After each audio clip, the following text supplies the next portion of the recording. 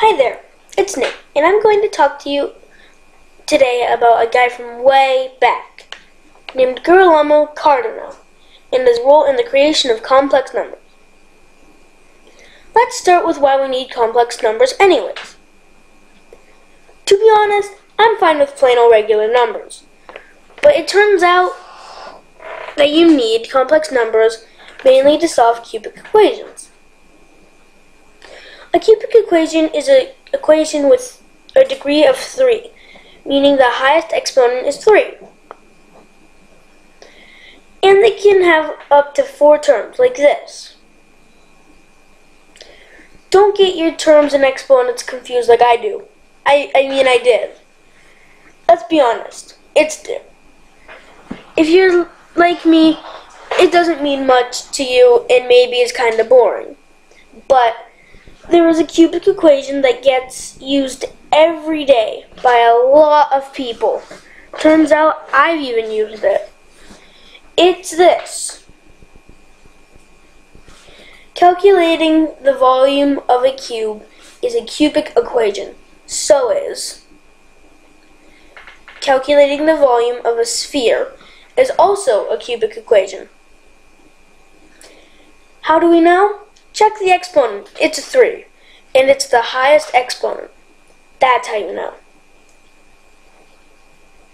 And anyone who has ever needed to know how much stuff will fit in a cube, like a house or a shipping crate, has needed to figure out a cubic equation.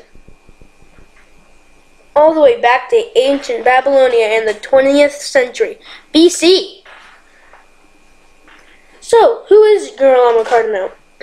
Girolamo Cardano was a 16th century polymath. That just means a Renaissance man who focused more on math and science than art and philosophy. His dad was a famous lawyer who was who was friends with Leonardo da Vinci. And he didn't want Girolamo to study math and science, he wanted him to be a lawyer a Renaissance man, and not a polymath. Girolamo did anyways and became a famous doctor and mathematician. He was the first math mathematician to use systematically numbers less than zero. In 1545, he published a book called Ars Magna, where he presented solutions to a cubic and quadratic equations. And it's in that book that the existence of imaginary numbers is confirmed. So it's the confirmation of the mysterious I that Girolamo contributed to the world of complex numbers. His work with complex numbers was key in other areas such as physics, physics and engineering. He used his math skills in those areas to create the combination lock, the gimbal, which are things that allow compass or a compass or gyroscope to move freely, and hypocycloids. You'll have to look one, that, that one up yourself. But they helped create the first high-speed printing press.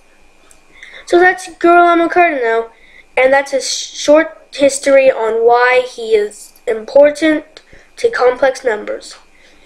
But his story is really cool. I hope you look him up for yourself sometime. Even if you are fine with regular numbers like me, thanks for listening.